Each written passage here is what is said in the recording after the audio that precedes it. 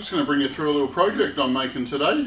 It's a 400 litre, uh, I call it a fire buddy trailer, designed to go behind a Polaris or similar, a, a quad bike.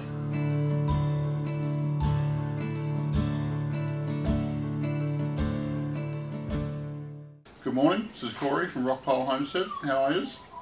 So, we're in our little off-grid workshop here. Um, today's job, sorry, bird just flew straight past. hey Willie, have a lot of birds around here, they're awesome, so cute. Um, today we're making a 400 litre battery powered fire unit. So I'll take you through that bit by bit today um, and we'll see how we go.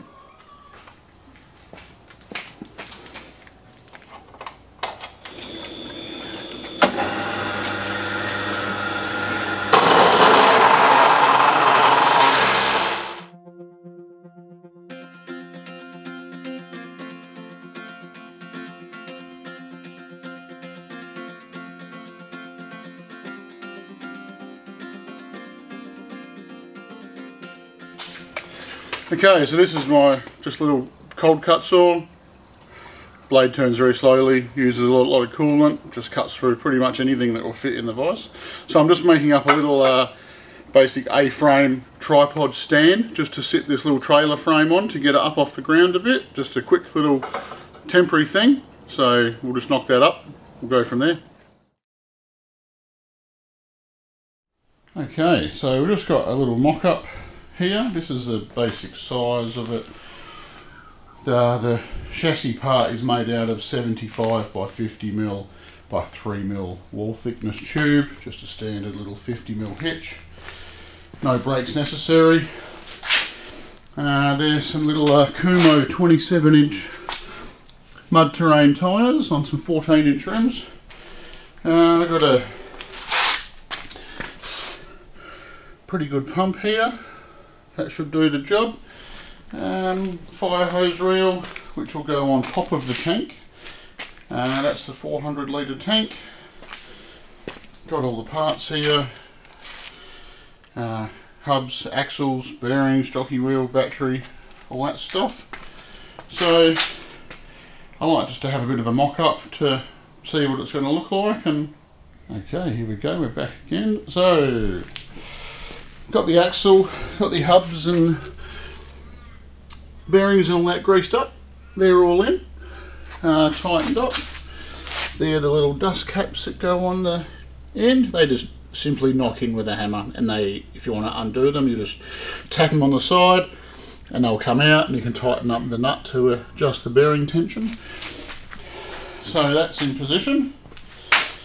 So now I'll just cut um, a few bits of steel and get ready for welding. I like to have uh, a lot of pieces cut and prepped ready to go rather than just cut one and then tack it together and that sort of thing. So uh, I've got to make a little battery tray that comes out the front here. A few little mount, extra mounts for uh, the tank to sit on that will run through that way. Uh, weld the hitch plate on there's a jockey wheel to go on and then uh, I'll touch back in a bit. Back. So we're coming together. Um, just put the tank on. Everything's kind of set in position where it's going to go. Uh, the hose reel is actually going to sit up here and you'll access it from the from the back of the trailer to pull it out and wind it up and there'll also be a master switch here that operates the the battery, the pump, uh, to turn it on. Big and heavy duty. So I'm just uh, about to weld up the, start welding the um, bracket. Whoa. Sorry, I zoomed in the wrong way. So I'm just about to start welding up the part of the bracket to hold the hose reel. Uh, I've got my little welding bench that I made. It's just a bit of 10mm plate with a all been laser cut. Heap of 10 mil holes in it, so it's pretty accurate for stuff. Um, and then also had these triangles laser cut uh, a while ago. They're just basically from a, from a sheet, and I just cut well, I've got they go right up to 1200 by 600 and they just all fit inside each other that's how you get the the best of your nesting program when you cut stuff so um, just use squares clamp it down and I'll just tack it all up. Um, I don't really weld everything fully to start with. I like to tack everything together in the shape that I'm going to do and then uh, clamp it solid as best I can and then start the welding process. Because if you just start welding fully in one corner there's a good chance it'll just warp and twist and you won't end up sort of square and stuff. So that's it, so I'll get cracking on this. Uh, I'm going to put the tunes on. It's a bit hard to weld, uh, sorry, it's a bit hard to film uh, while welding because I don't want to get splattered on the camera um, and it's really bright and awkward. I know other people do it, but whatever. And I've got the generator because we're fully off grid. Uh, everything we I run in here, like the the drill press and the little lathe and just random stuff. You know, the saw and the bandsaw and stuff. It all runs off the battery system. Uh, but the welder, um, I have a generator that basically just goes on the other side of this shed wall here. I just run the lead out to it turn it on and it's a bit loud it's not it's not a fancy silenced type so I'll get cracking stop waffling get cracking talk to you later now I've just made up the little battery tray holder. Um, battery will sit just in that square there and I might put a bit of checker plate on the bottom for it to rest on drill a hole in it so water can't uh, fill up in there. That'll get I'll try and do this one-handed. That'll get kind of welded like down down a bit in the inside the frame. And then I've made up the first half of the hose reel holder. The lights the light's not too good in the shed here unfortunately but so this is the hose reel holder. Um, from a simple bracket. Will get welded down the bottom there and then I will make another support like like this. That'll kind of come out down on a 45 and then down to the side of the frame here uh, to take that weight stop that bouncing. That'll make that quite solid. Um, and then it's just making some brackets for the mud guards. And essentially then we just uh, go to town with the welder. Weld it all up. A uh, basic battery isolator switch, heavy duty, nice big red handle on it, on off. Um, and that'll just get mounted somewhere on the side here. So when you stand at the back, you can see it quite uh, easily. Click, turn it on, on, and then uh, I nearly dropped it. Don't do that. It's brand new. okay, so I've just done the final mock-up with the tank here. Um, obviously I'm moving the tank on and off when I do the welding and the grinding because I don't want to get little burn marks on the tank because this is a new product. So that's it. It's looking pretty good. It is. Everything's all you know square and level and lines up well and so I'm going to take it all apart now and do the final weld up.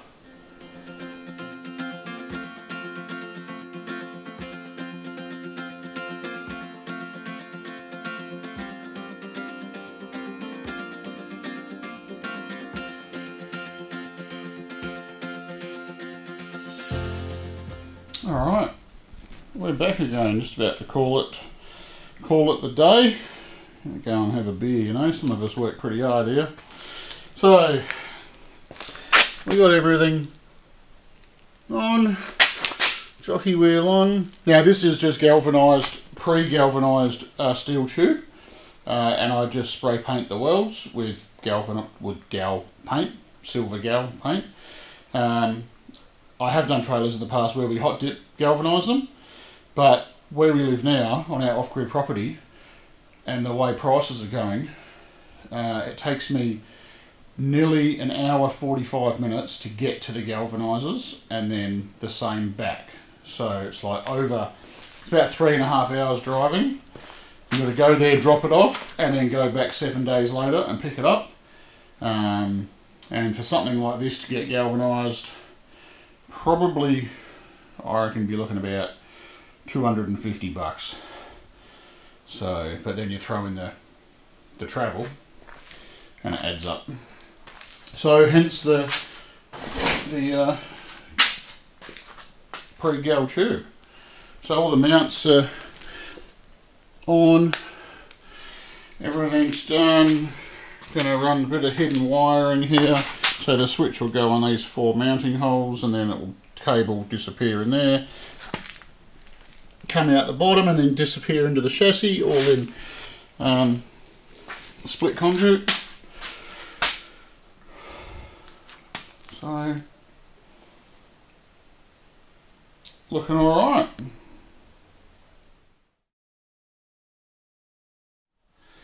G'day folks, it's uh, the next morning. Just done a few little errands around the house, around the um, property this morning. And we're back into the shed. So we've got everything, everything's been fully welded. Um, apart from the axle location, I have welded the uh, my little mounts uh, to the to the axle there. We'll just take a little bit to zoom uh, to the axle there, uh, but I'm not sure where I want to put it yet. Just in relation to the weight distribution. Um, probably going to go 50 mil to the rear of centre of the tank. I think that will be quite sufficient. Um, so yeah, so we've got the, uh, the pump here. We have the pump. It is a Shurflo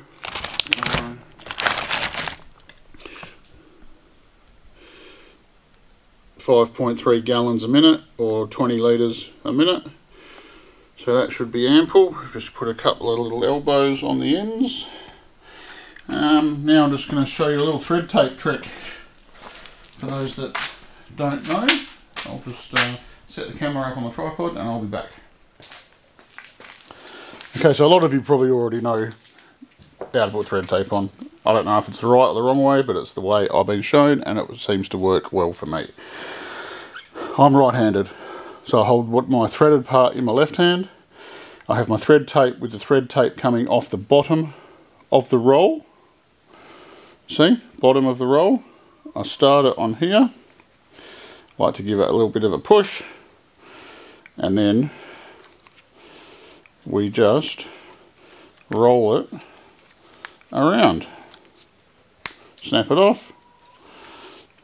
Done.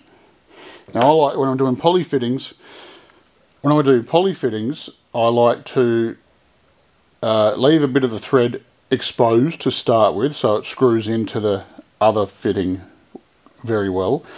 And then I gradually make my thread tape thicker by the time it gets down to here because then I can really tighten this fitting up nicely and know that I've got a good seal because my thread tape is almost tapered I suppose. It's thicker here than it is here if that makes sense could just be me being fussy who knows but that's it alright so guess what the trailer is 99% finished. It's on its own wheels now. It rolls around quite lovely. The pump works. It's coming together really, really well. I'll show you around.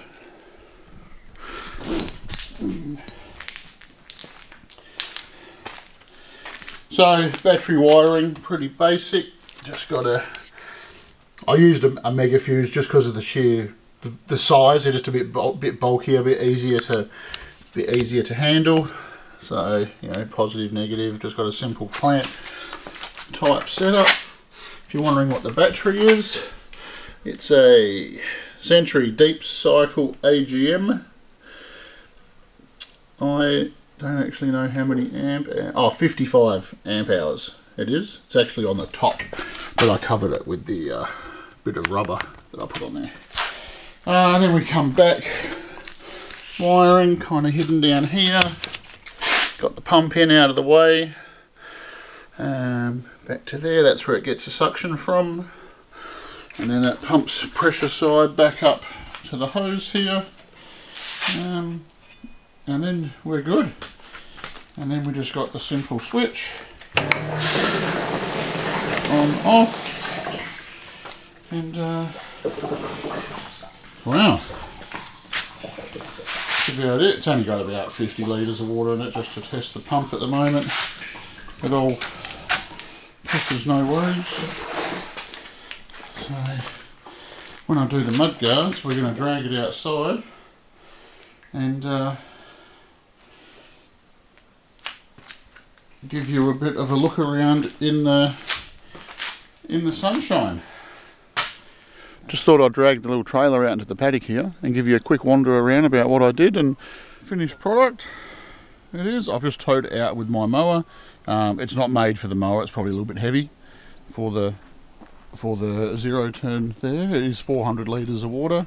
So um, we'll just do a little walk around. It's a standard 50 mil ball hitch standard jockey wheel which is removable so you can leave the jockey wheel in the shed when it's hooked behind the Polaris.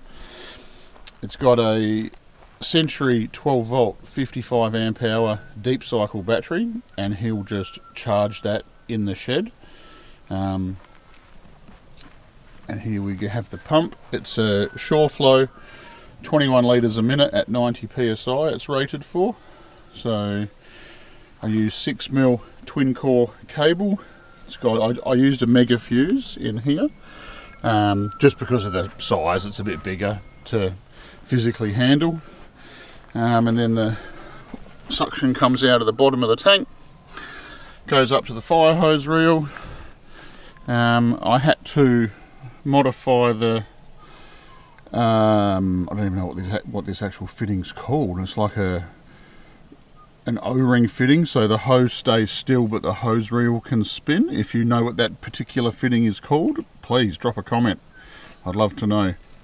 But anyway, the O-ring that came with it was too small and it was leaking so I had to take the brass bit out, machine a bigger uh, O-ring groove in it and put a heavier duty O-ring in.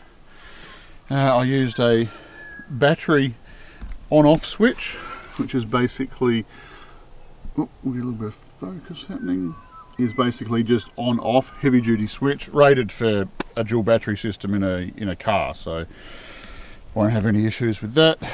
It's got a drain plug on the back. Um, just a, a manual wind hose reel. Uh, as I said before it holds 400 litres of water.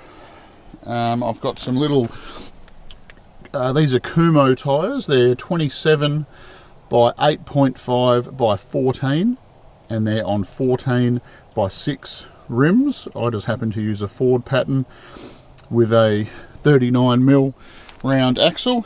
There is no suspension on it. Uh, we just adjust the tyre pressure to suit the weight of what's in the trailer. Um, that helped keep the cost down. So the principle behind this is they wanted something uh, easy to use that didn't have a petrol engine that they had to worry about oh, not starting or hasn't got fuel or something. Uh, this is basically to water trees with around their excuse me around their farm and if they happen to do any burning off like leaf piles or little brush piles or something they can just have this on hand um, with 400 litres of water in it and it's just a, a little safety net you know, just in case something does go wrong. Um, if any bigger fires happen, they uh, also have a, a, big tractor with a, a, fire unit available, so they can use that. But this is just easy. Turn the switch, squirts water, take it where you want. So my wife's got the camera, I got the hose. If I squirt her, she's going to smack me. So we're out here. I'll show you how to operate it. Pretty simple. Uh, turn it on. Oh, that was a bit premature. Turn it on away we go. That's it. So you can water your trees, you can squirt your wife, kids, and uh, put out those little, um, you know, emergency little fires if you're just burning a small pile of brush, you know, metre square or something. Easy. And when you're done, you just turn it off. just flick the switch back to the off position and, and then you just wind it back up, put it in the shed, put the battery back on charge, ready for the next time.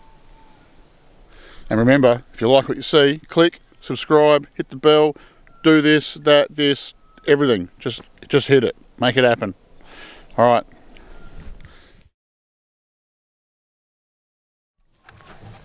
I'll take a screenshot.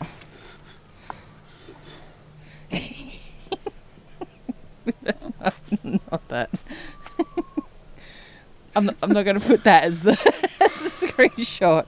Pull your shirt down.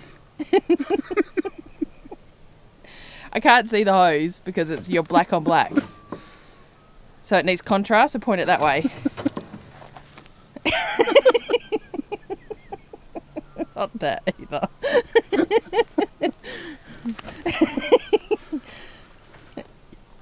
Perfect.